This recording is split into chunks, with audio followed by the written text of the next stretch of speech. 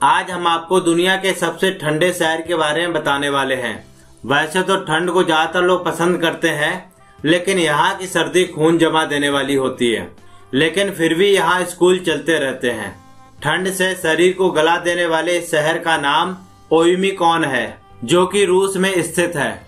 यहाँ का तापमान माइनस बहत्तर डिग्री सेल्सियस तक नोट किया गया है, लेकिन सर्दियों के मौसम में यहाँ सामान्य तापमान माइनस पचास डिग्री सेल्सियस तक रहता है। अगर आप यहाँ गर्म पानी को हवा में उछाल दें तो तुरंत बर्फ़ में बदल जाता है। इसे दुनिया का सबसे ठंडा शहर कहा जाता है। इससे भी ठंडी जगह एक और है, लेकिन वो कोई शहर नहीं है, और न ही वहाँ कोई रहता है। यहाँ ठंड इस कदर पड़ती है कि यदि गाड़ी का इंजन बंद हो जाए तो गाड़ी को दोबारा चालू करना नामुमकिन हो जाता है। लेकिन फिर भी ये शहर कई लोगों के लिए बेस्ट टूरिस्ट प्लेस है। यहाँ आना इतना आसान नहीं है। और इस शहर में घूमने के लिए टूरिस्टों को खास ट्रेनिंग दी जाती है।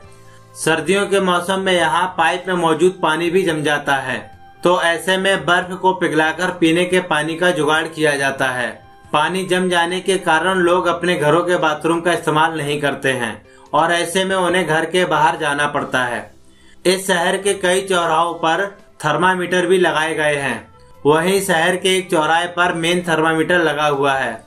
यहाँ आप देख सकते हैं कि सबसे कम और सबसे ज़्यादा तापमान कब गया था, क्योंकि ये शहर आर्कटिक सर्कल के बहुत करीब है और यहाँ सर्दियों के मौसम में 21 घंटे अंधेरा रहता है।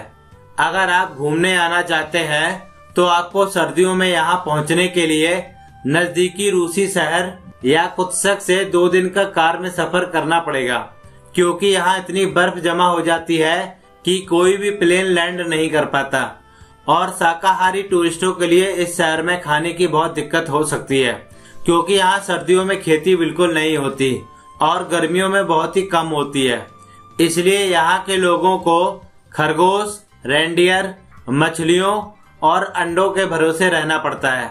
और कई बार मरे हुए जानवर को पकाने के लिए उन्हें भी पहले पिघलाना पड़ता है।